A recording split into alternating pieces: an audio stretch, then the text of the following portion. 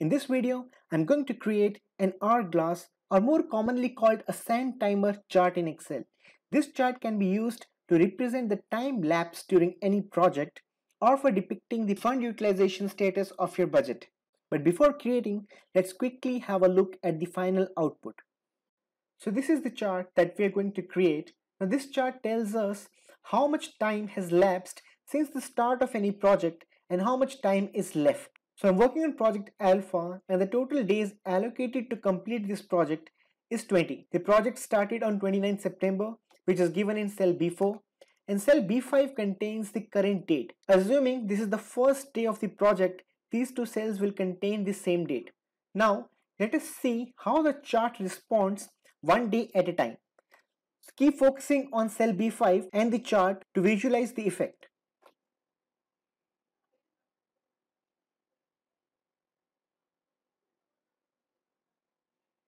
Now this chart is created by using two things.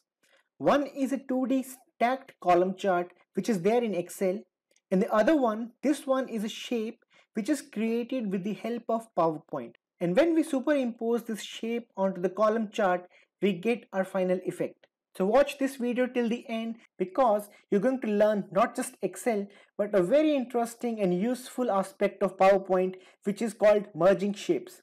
So first we'll create the shape in PowerPoint and then we'll move to Excel to create the chart.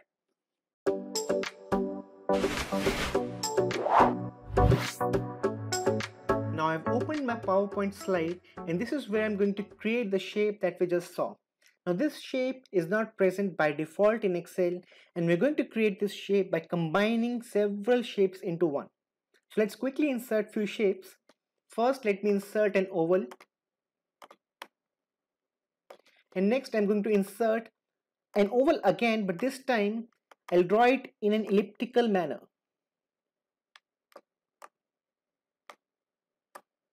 Now I'm going to subtract the ellipse from the oval and to do that you need something called merge shapes. This is a command which is present in PowerPoint but not available by default in the top ribbon. So you need to go to Excel options by clicking on file then going to options and in the customize ribbon choose all commands and then search for merge shapes. So this is here. And now we need to include this command in our ribbon. Let's have a look at the right side. And here we can decide where to put this command. I'm going to put the command in the draw menu item. So I'll expand the draw menu. And then inside the menu you need to create a new group. And then when you click on add then the merge shapes will enter this newly created group. Click on OK and let's check the draw tab now. Right, so you have the merge shapes command here. So now select the oval and then the ellipse and then click on merge shapes and choose subtract. So we're able to complete the first step of our shape creation. Let me copy this image. I'm going to use the copied image later on. Right now focus on this one. And now let's include another shape, this time a square. Change the shape fill of square to white. Send the square to back. Select both the shapes and then go to shape format. Click on align. Choose align center. Then again click on align and this time choose align bottom. Now choose the outer square and remove the outline. Select both the shapes. Now we're going to use merge shapes. So go to draw tab and on merge shapes click on subtract again. As soon you click on subtract, you observe it appears that everything has vanished. But in reality, we have created a shape and we're not able to see it because the background is white in color. So let's change the background to some other color. And this is what we have created right now. Now one thing to note here is when you subtract any shape from any other shape, then the inside shapes outlines get disappeared. And to bring back the outlines, we need to use a copied version of the inside shape. So let's bring it here. To better align, select everything and go to shape format, align center and align bottom. For the copied shape, let's change the shape fill as no fill and the outline as gray color. And now let's insert another shape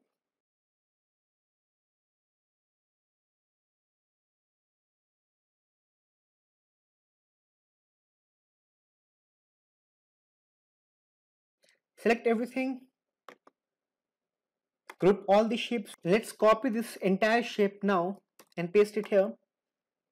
So this will serve as the top portion of the hourglass and this will serve as the bottom. But we need to flip it. So go to rotate and flip vertical. Now let's align these two parts with each other.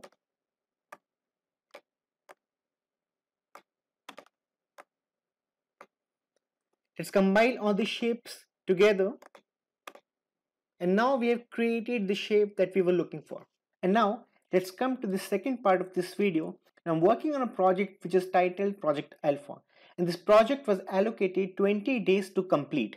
If you have a look at cell B6, this contains a formula which is called today. So this formula updates itself every time when you close or open your file. So if you open your file after one day, then the date here will be mentioned as 30th September 2022. And now let's plot the information over a column chart and we'll convert that column chart into an hourglass after that. So what I enter in these cells is the information that I'm going to use to plot the chart. Row 12 and 13 will form the bottom portion of my chart and row 14 and 15 will form the top portion of my chart.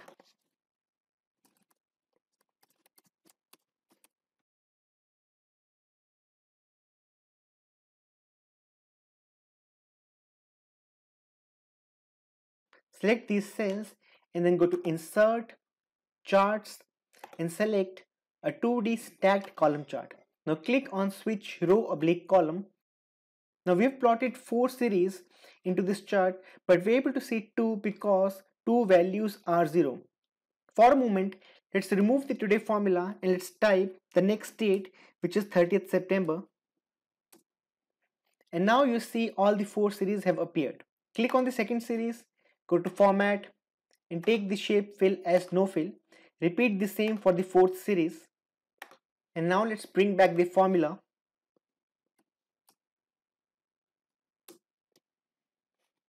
Let's also remove the chart elements that we do not need.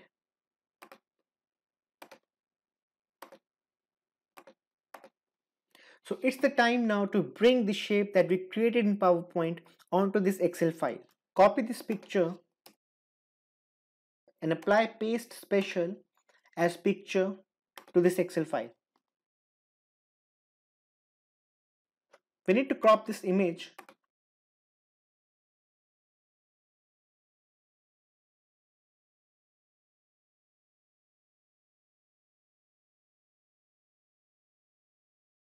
So now we're going to superimpose this shape onto this chart we have to make sure that the height of the top portion of the shape and the height of the gray series should be same.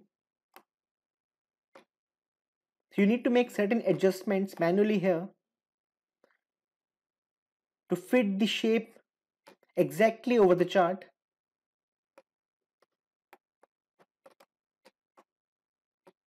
So now you see what happens when the days progress. So let's manually type 1 here. Let's type 2 here keep increasing the values and you see it appears that the contents of the top half are being pushed on to the bottom half. It looks good but it does not look like a sand timer so let's apply some sand effect to this chart. I've copied this sand image from internet. You can also do the same and now copy this shape. Let's remove the shape for now. Click on the gray series. Go to format data point and inside fill click on picture and then click on clipboard. Repeat the same for the blue series.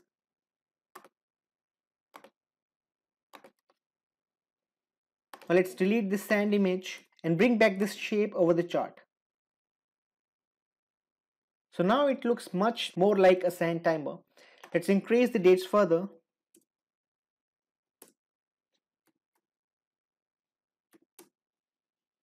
Let's bring back the formula in cell B7 which we manually changed.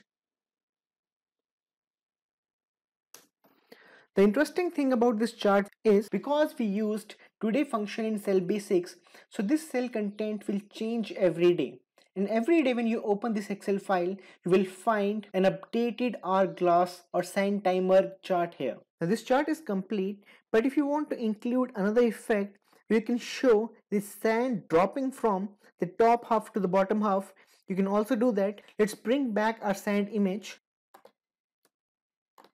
Crop this image to a thin line. Now let's include a shape, a rectangular shape